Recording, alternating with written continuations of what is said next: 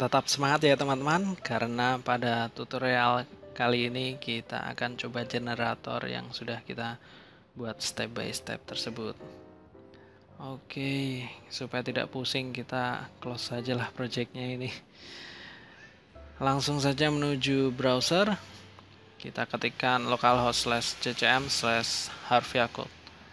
Nah ini tampilannya seperti ini, tetap sama ya saya juga sebenarnya bisa sih mengedit ini juga merombaknya. Cuma saya menghargai penulisnya. Itu teman baik saya jadi tidak masalah.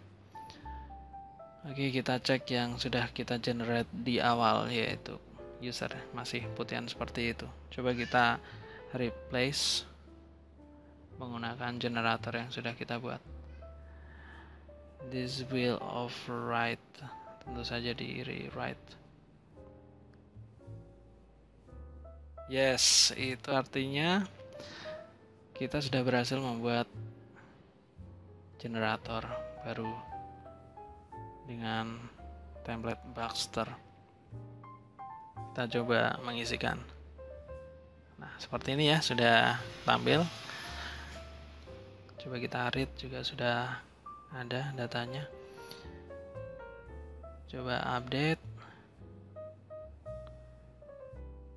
misal seperti ini. Oke sudah berhasil masuk. Update record sukses.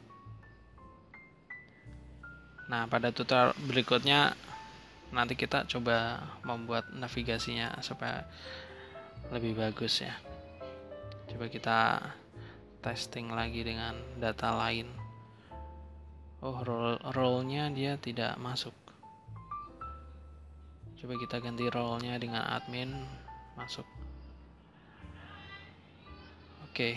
oh role itu dia menggunakan tipe enum. Coba kita lakukan pencarian misal kuku tuh dia sudah bisa melakukan pencarian. Reset dia akan kembali. Karena enumnya cuma admin ya jadi tadi saya masukkan role lain juga tidak masuk. Nanti kalau role-nya enumnya kita tambah juga dia akan masuk. Ini untuk fitur ekspor Excel-nya. Sudah berjalan dengan baik. Kita tes fitur Word-nya.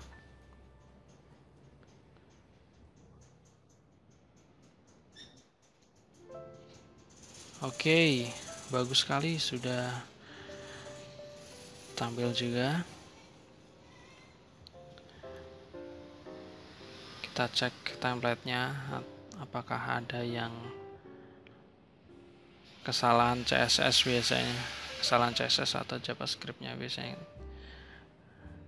Dia navigasinya itu tidak bisa di cuma ini sih.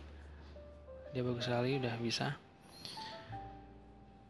Oke okay, congratulations guys